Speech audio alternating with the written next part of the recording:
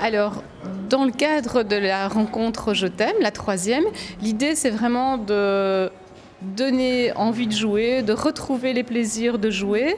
Et donc, euh, pourquoi pas euh, l'idée ben, de venir euh, offrir un jeu ben, qu'on a abandonné parce que l'enfant a grandi, parce qu'on est passé à autre chose, et puis retrouver le plaisir d'avoir un, autre jeu qui va, qui va ravir l'enfant. On a deux enfants, beaucoup de jouets qui s'accumulent et on se dit que ça, une, ça peut avoir une deuxième vie en les donnant à d'autres familles. Et alors c'était aussi l'occasion pour elle de venir choisir un jouet. Là on a travaillé avec un partenaire euh, qui déjà est dans la mobilisation de marchés gratuits, le partenaire Free Cycle. C'est un mouvement euh, local.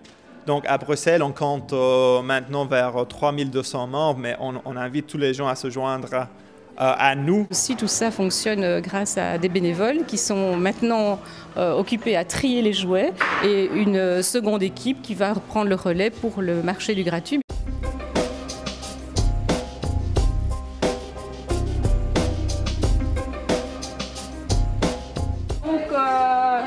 L'idée, en fait, c'est que chaque enfant puisse choisir lui-même deux jeux, un grand jeu et un petit jeu.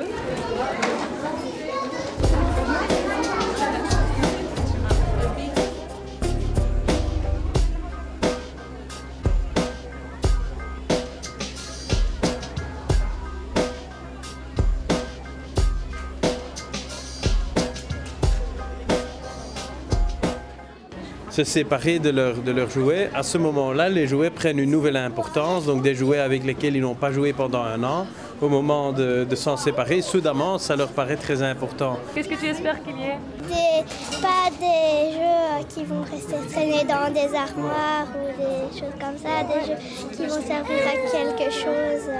Il y a des personnes qui euh, ne savent pas quoi faire avec certains objets, qui ont une valeur sentimentale quelque part pour eux. Le fait de jeter, ça leur pose tellement de, soucis parce que justement il y a cette valeur sentimentale que savoir que cet objet va avoir une deuxième vie, c'est quelqu'un et qu'il va servir à, à une personne ça, leur, ça les motive justement à, s'en débarrasser, à, le donner, à l'offrir. Mais il y avait beaucoup de gens, mais il y avait beaucoup de choix, mais c'était bien. Mais ça, allait, il y avait beaucoup de jeux. C'est une chouette initiative pour les enfants, voilà, parce qu'on achète, on achète, et donc c'est une bonne initiative de, de, déposer les jouets dont on n'a plus besoin et d'en faire profiter euh, des autres. Ben, j'ai tourné et j'ai choisi un jeu et j'ai regardé à l'intérieur et, et j'ai aimé et je l'ai pris. C'est bien, c'est bien organisé. Je croyais que ça allait être un peu la folie, mais euh, ça va. Les enfants, ils, vraiment, ils choisissent, ils ne se jettent pas sur euh, n'importe quoi. Très euh, contente du, résultat parce que je vois que les enfants prennent beaucoup de plaisir à choisir les jouets.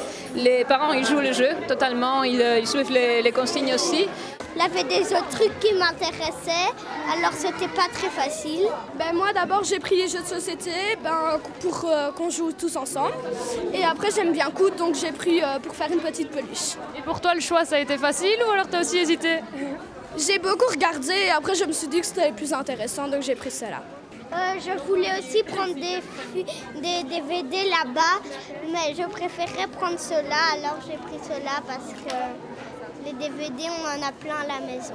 Ben, je trouve que c'est cool parce que déjà, on peut apprendre à jouer, on peut voir... Euh, enfin, des choses qu'on ne connaît pas. J'aime bien aussi parce que les trucs, c'est gratuit.